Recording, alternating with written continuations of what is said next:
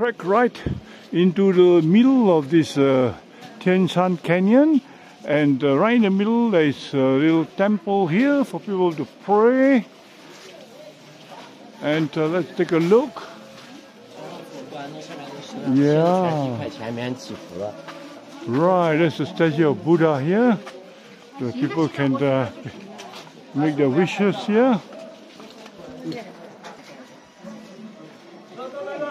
Alright, look at this mountain here. Well, you have to use your imagination. They say that this is uh, uh, resembles a lovesick elephant.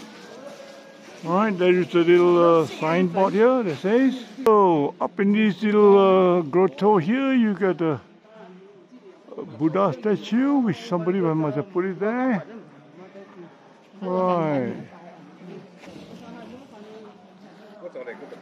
Well, this section of the uh, canyon appears to be broader and uh, more level and allows people to uh, set up uh, places of worship. And uh, then there's a mountain spring up here. People go up there to drink the water. Also, the white space now narrows to a, to a little gap like that. So this is probably the narrowest gap. Well, two outstretched arms can reach both sides of this gap. On close examination, you'll find that these are actually sedimentary rocks that were originally from the lowland, but over the millions of years of evolution, it has been raised and pushed right up to where you see in the Tian Shan Mountains.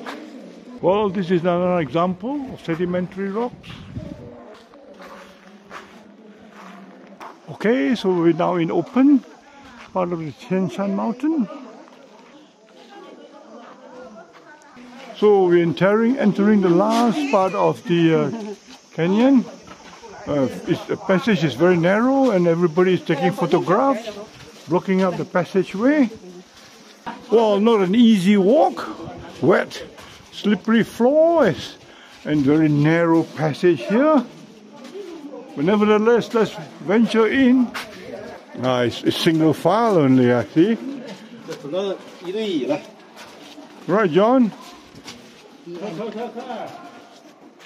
An interesting view here. Narrow pathway leading up in between the two Tian Shan mountain ranges. Okay, so we have come to the final section which has been blocked by the rocks and we can't go anymore. So we just end the video here. Right, okay. Bye bye.